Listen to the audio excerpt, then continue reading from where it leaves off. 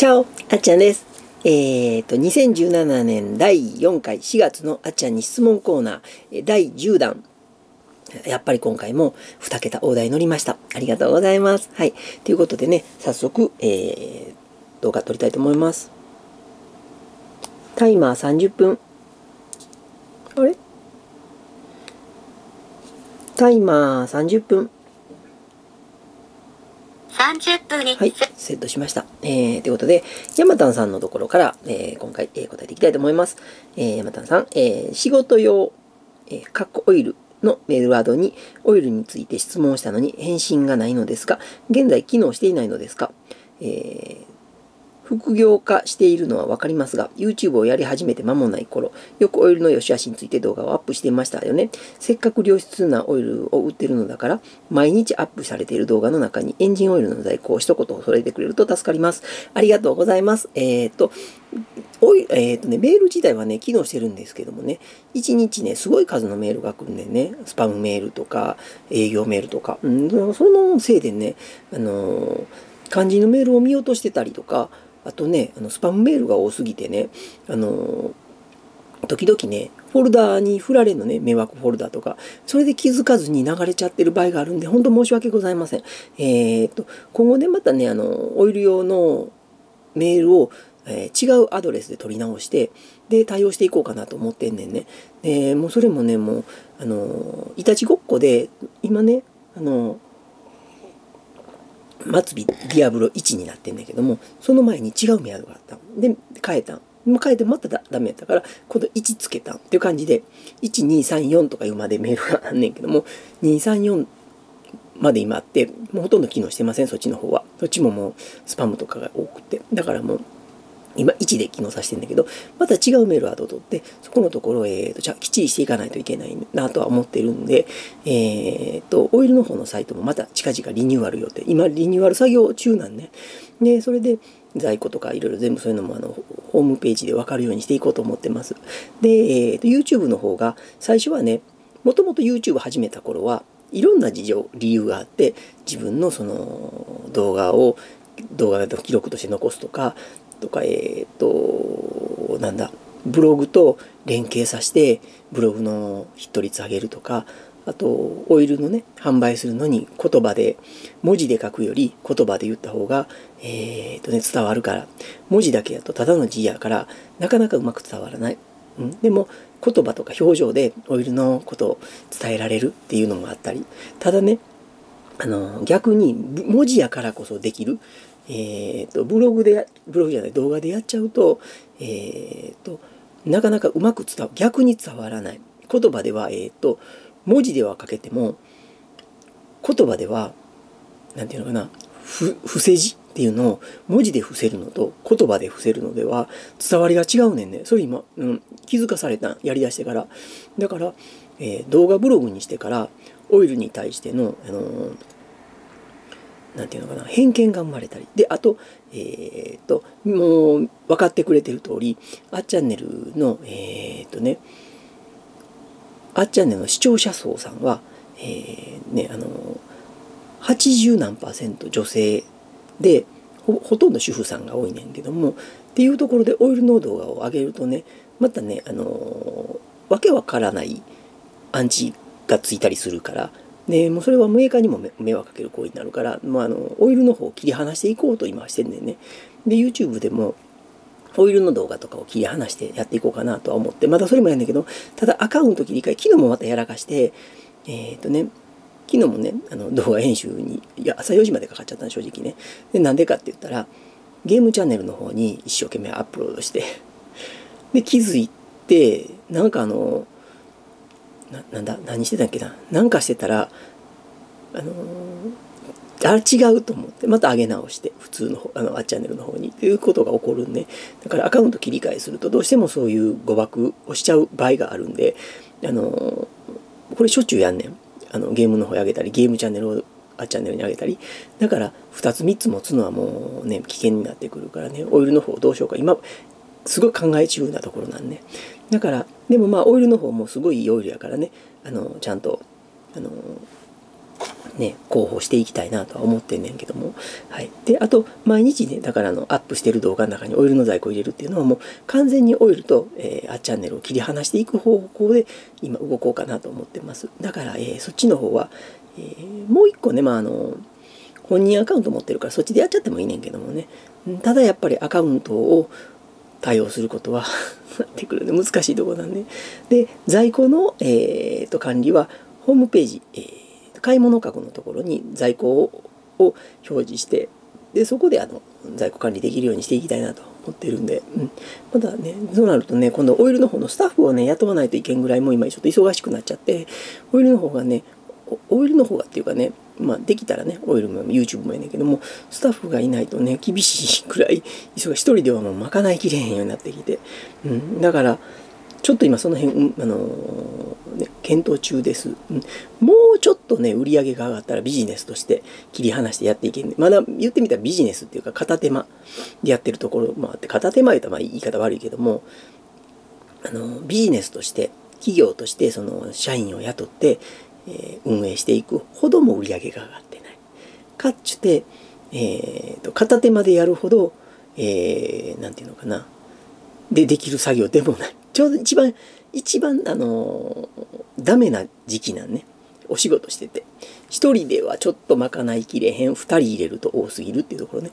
うん。そういうところなんで、もうちょっと待ってください。オイルの方きっちりやって、あのやっていきたいと思います。で、子供がね、まあもうちょっと手伝ってもらえるようになったら、まあまあ手伝ってもらいながらホームページとかいじくってるところやねんけどね、なかなかね、あの、うまくその在庫管理とかあの辺のね、プログラミングができてなかった。うん、あの、近々やれるように頑張ります。ありがとうございます。はい。えー、次、秋翔さん。えー、あっちゃん、ちゃうです。ちゃうです。えー、昔の動画で子供ちゃんのゲーセンの動画がありました。はい。長男くん、綺麗な顔立ち、あっちゃんから、長男くんのファンに乗り換えちゃいそう。わお。あっちゃんのファンのままでいてください。はい。あの、影のね、レアキャラとして、はい。長男くん応援してあげてください。はい。えー、兄弟仲良くされている動画に癒されました。うん、二人ね、喧嘩もするけど、すごい仲いいんです、うちの子供。うん。で、子供ちゃんとの動画はもう撮らないのですか？はい。やっぱりね、あのー、あっちゃんは撮りたいし、子供ちゃんも出たいねんけども、やっぱりね、あのーいろんな人が世の中にいててね、うん。あの何をされるかわからないっていうね。危険も、うん、あある。まあっちゃんは大丈夫やとは思ってんねんけどもやっぱりそういう危険から守ってあげられあげえ守ってあげられなえ守ってあげないといけないのがやっぱ親やと思うんでね、うん。まあ、もうちょっとね自分で自己責任自己責任って言ってもさ大人になってもやられるもんはやられる。だから子供やから義務教育中やから、うん、とか大人になったから本来ええのかっていう話になってきたらねあのまた違うとは思うねん。あのまた変な例え話やねんけどもね。バイク高校生はバイク乗っちゃダメって。じゃあね高校生でバイクを我慢させ今の子供は違うよ。あっちゃんの年代ね。バイクを我慢させられたらね大学デビューするのよ。高校卒業した時にやったーって言ってバイクの免許取って事故を起こす。それやったらまだまだそれやったらいいね。大人になって子供の頃学校の時に抑えられてある程度そこそこ大人になって時間とかお金に余裕できてきてバイクに乗る大人事故を起こす。っていうことが多いからほんまはねもう16歳になった時からバイク乗せるのがいいと思うんでそれと一緒で、えー、と16歳っていうか、まあ、子供やから危ないのか大人やから危なくないのかって言ったら危なさは一緒やと思う。大人でもやっぱりネット環境でねストーカーついたり狙われたり変なことされたりするのは一緒やからね危険度はね、うん、ただやっぱりその大人やから守れんのかって。守れませんやっぱり。とは思うねんけどもね。でもやっぱりそういうね危険にさらすことは今のところちょっとねそう言われるんやったらもうちょっと様子見とこうかなと、うん、まあそれだけじゃないねんけどもねいろんなことがあってやっぱりあの子供を出すのを今ちょっと抑えてます。寮のファンでやってくれてありがとうございます。はい。で、えーマックスプレイス3753、えー、質問なのですが、あなたは他人の目を気にするほほえ他人の目をするほど馬鹿げてるって前に言いましたが、動画を見てるあなたはコンビニで買い物して車に乗り込むまでやその他の場面でもすごく他人の目を気にして急ぐように見えるのですが本当はものすごく他人の目を気にして生きてませんか？生きてません。はい。全く他人の目は気にしてません。逆にでもねあの人間観察が大好きでいろんな人ああの人こんなことしてる。あの人こんなことしてるっていうのはみんなは好きです。あと景色をキョロキョロみんなも好きです。なっちゃん結構落ち着きないからいつもね見てないねんけどキョロキョロしてたりとかねしてます。でえー、っとせっかちやから意外とだから歩くの早いとかそんなのもあるねだから早口なんもせっかちの性格のうちやと思ってね。だから一生懸命こうゆっくり喋ろうとはすんねん。意識していつもね、チャオあっちゃんです。えっ、ー、と、今日もあっチャンネル見てくれてありがとうねって言ってんの意識してゆっくり喋ってんねんね。だからこうやって質問答えてる時に30分で答えなあかんわ思ったらね、元の早口に戻ったりすんねんね。うん、そうなった時やっぱ尺考えると、あの、早口でいかないとダメやなと思ったり、っていうので、あの、元に戻ったりはすんねんけどもね、意外とね、そういうところはあるけど、人目は一切気にしてません。まあ、人目気にしてたらね、ロリータなんか切れません。はい。ね、多分このロリータってね、ほんとね、もうあの、高校生とかになっても切れへんと思う。一目なんて気にしてたら。それをね、ちゃんの年齢になってね、切れるっていうのもね、一目なんて気にしてないからでございます。はい。だからね、一目ほんま気にせえへん。あのそんな人なんです。うん。人の目気にしててね、したいことができへんほどほんま馬鹿げてると思うね。だから、したいことをするっていうのは自分の中のの夢でもあったり、自分がやりたいことやね。それを何らかの障害でできへんって普通世の中そうやねん。その中の一つに人目っていうほど人の目を気にして、だからその人はそう思ってないかもわからへんやん。思ってるかもわからへんし、思ってないかもわからへん。でも思ってないのに思われてるっていう被害妄想的なもんで自分の欲望を抑えるほど馬鹿げたことはない。もったいない。生きてて。ってあっちゃ思う。だから、えー、マックス・プレスさんも人目を気にすることによって自分を自制するほど馬鹿げてるからもっと楽しんでくださいね。はい。えー、ミシェル・ミシェルさん、えー、もう一つ質問です。あっちゃんは今恋愛したいと思いますか？そうだとしたら相手の方は男性女性。恋愛はね、したくない。したくないっていうか、する気はないんねんね。で、結局恋愛ってね、あのー、ていうのかな。綺麗に言ったら、相手を思いやる気持ちとか、ね、相手を、えー、敬う気持ち、相手を尊重する気持ちっていう表向き綺麗事があるけど、そうじゃなく、自分のものにしたいっていう欲望。えー、とかそういうのもあったりとか。で結局、えー、遠慮の試合っていうのがねまあ、ミキちゃんってやってそれはなくなった。そういうあの偏見はなくなってんけどミキちゃんと結婚してからは一切遠慮しない。好きかっていう。好きなことをする。ミキちゃんもそうせえって言ってて。であの守らなあかんことだけ、まあ、何点か決めて。それだけは、えー、守ろうっていう話で、うん、だからねあのー、なんていうのかな。あるけどもやっぱりね恋愛っていうのは束縛やと思うねあっちゃんは、うん、あっちゃんは束縛するタイプやからみきちゃんのこと束縛するよって、うん、って言ってた、うん、でもでもねで束縛嫌うからみきちゃんには束縛しないでねって言ってた まあまあ、それで冗談としてね、言っててんけども、まあ、束縛されへんかったら寂しかったりもするんだけど、うん、まあ、そんな感じやってんけども、今はね、束縛されたくない。自分の時間で行きたい。うん、だから、もしね、ミキちゃんと同じようなね、ミキちゃんともね、恋愛したい。女の子を探そう、男の子を探そうってキョロキョロキョロキョロして、あの女の子にえ声かけて自分のものにしようと思って恋愛したことってないねん。今まで生涯生きてきて。大体、えー、っとね、まあ、中学校の時とか小学校の時とか好きな子がいてね、あの子好きやなと思って。で、まあ喋ってて、えー、ね、なんかあの、なんていうの？成り行きでってみたいな感じっていうのがあるけどもみきちゃんもなんかときめいたんよね。今までのない心に。ハートがこうガッズッカーンってこう衝撃を得たの。みきちゃんなんかなんかこの人って思ったそれもまだ会ったことない時にね。うん。お互いにそうやって。でそういう衝撃で恋愛した。これがほんまの恋愛かって思って初めてほんまの恋愛っていうのを知ったね、うん、だから恋愛っていうのはしたいしたくないとかじゃなく見たあの出会った時の衝撃で起こるもんやと思ってるからね。だから男女関係ない。言ってみたら人間じゃなくてもいい。ほんまにハートをねこう刺さったらその人が生涯のパートナーでいいってあっちゃんも思うね、うん、だから今のところ恋愛をしたいとかいう感情は全くないです。で将来ないかって言われたら分かりません。はい。なんかそのね出会った時の衝撃で恋に落ちる場合があるとは思います。はい。えー、純子、えー、熊谷さん。えー、あっちゃんちゃおです。ちゃおです。えーと、料理のアイディアいつも参考にさせてもらってます。ありがとうございます。はい。質問なんですが、前から料理のアクを取らないのは何か意味があるんですか？アクは旨味にならないことは絶対あっちゃんなら分かってると思うんだけどなーって勝手に思ってるんだけど、笑い？え、ただめんどくさいなら余計な質問ですいません。あのね、アクってね、旨味らしいのよ。あの、旨味成分が詰まってて、えー、っと、お野菜のアクっていうのは、旨味やねんて、すべて。で、お魚とお肉は、えー、っとね、油。油が固まったもの、えー、らしいねんね。熱で。で、それは雑味になんねんて、やっぱり。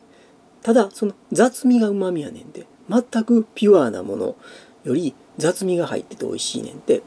例えばあの水が超純水完全な H2O は美味しくないねんて。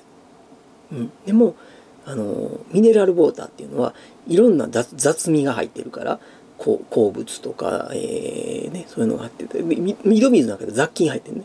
その雑菌とかが美味しいねんってやっぱり。だから、えーと、水は井戸水が美味しいっていうのは井戸水にはいろんなものが含まれてるからミネラルウォーターみたいなもの。だから市販の蒸留水は美味しくないって言われてるのと一緒でね。雑味がうまみまあそれ人それぞれやと思うね。でなんで、えー、日本食料亭の人はざあのアクを取るかって言ったらね見た目らしいねんね。だからレンコンとかの皮とかでもじゃがいもの皮とかでも一緒やねんけどなんで剥くかって言ったら見た目やねんって。栄養のこととか味を考えると剥かない方がいいっていうねんね。それもあちゃん受け売りですよ。はい。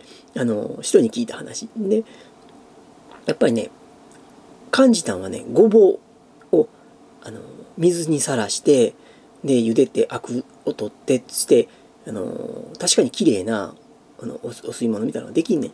でもそれよりもごぼうってアクも取らない。皮も皮も剥かない。ざっと洗ってもうね先駆けにしてそのまま鍋をぶち込んでグツグツ煮て終わりみたいな。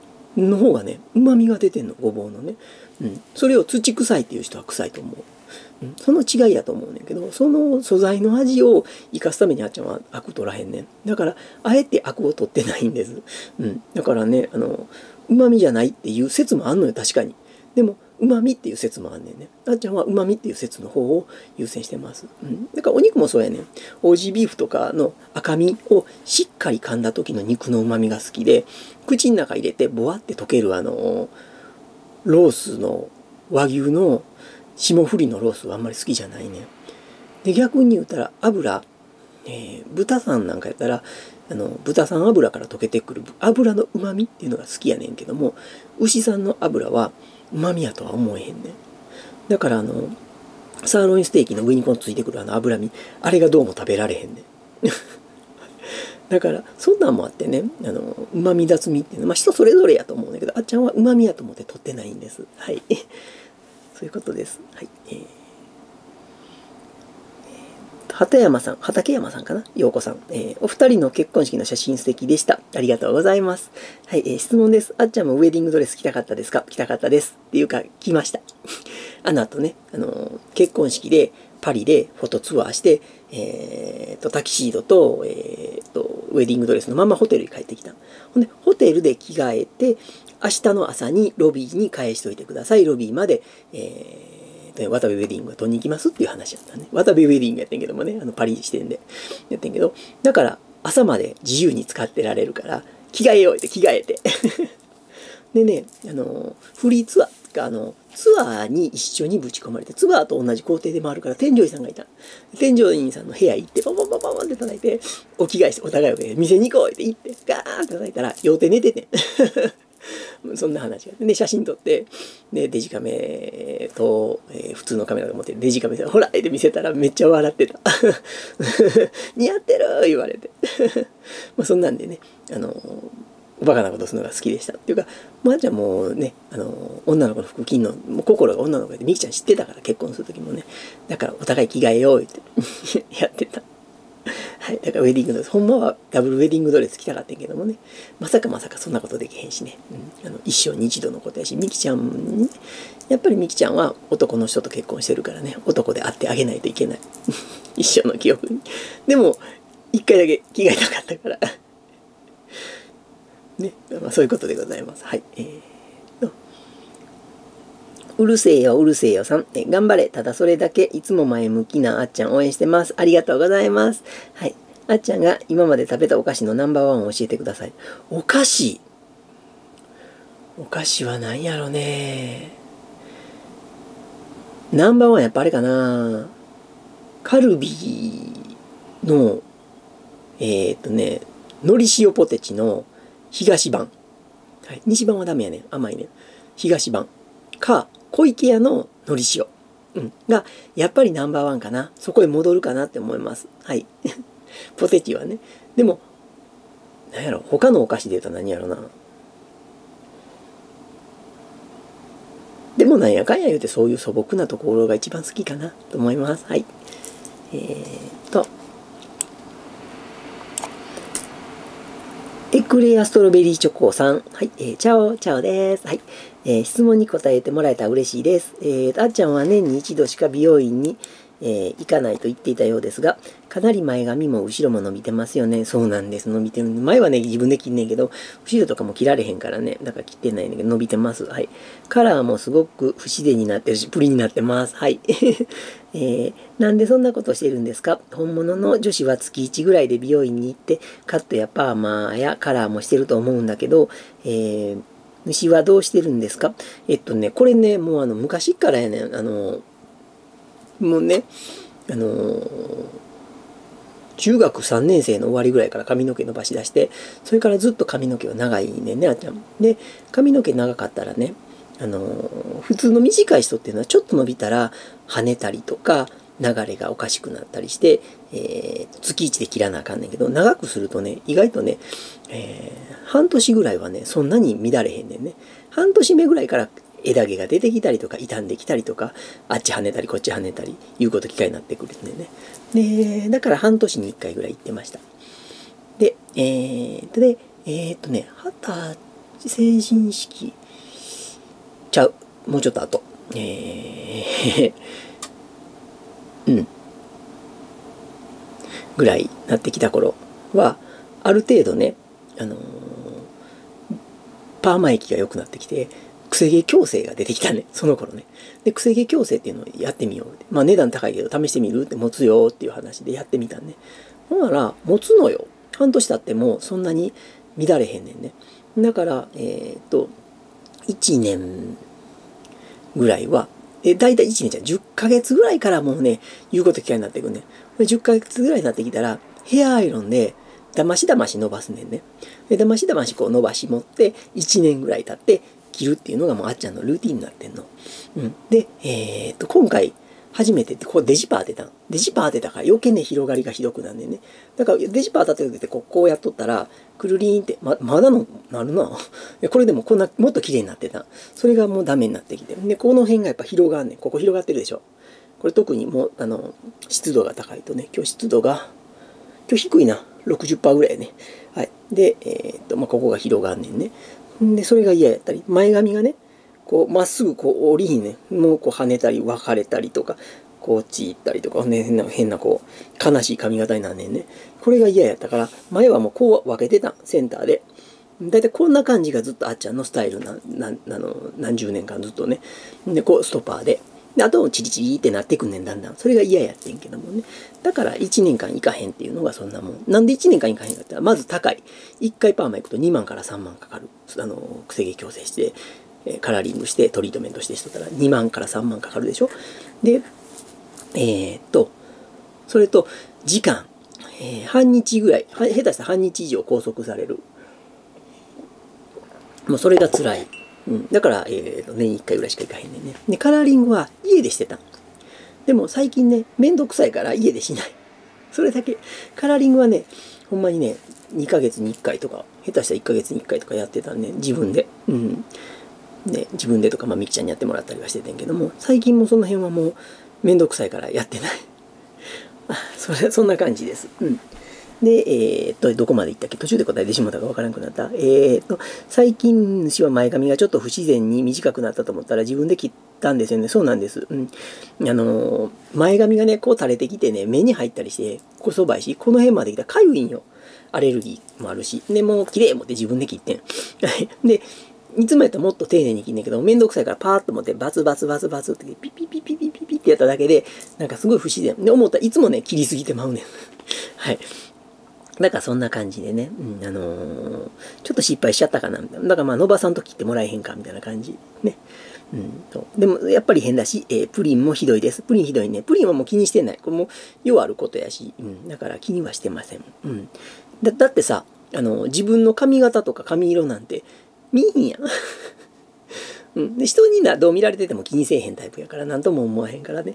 だからあんまり気にしてなかったんねはい。えー、だから自身ぐらいは自分自身でやったらどうですか？やっててんけどめんどくさいねんね。はい。えー、それにやっぱり主さんは心だけ女でも体や組織はやっぱり男なので、えー、ヘッドケアをしないとどんどん薄くなっていきますよ。はい。えー、っと美容院には育毛コースもあるので相談したらどうでしょうか？えこの頃見るたびに髪が薄くなって、頭皮や髪の形が頭の形がくっきり見えて、えー、見ている人には毛が抜けて落ちているんだと判断、えー、分かっているはずです、えー、心だけでも女っていうならもう少し女らしく身だしなみを気をつけて清潔感のある人になってみようとは思いませんか？女らしい外観を保つために努力していることを教えてください。一切ありません。はい、あの、そのままです。で、あの、ローションとか乳液とかもしてなかったで、去年、一昨年かぐらいに、あの、しゃあなあかんって言われて、初めて。うん。それまで全然そんなこともしてなかった。ま、全く自分の体とかそういうものにケアせえへんタイプやからね。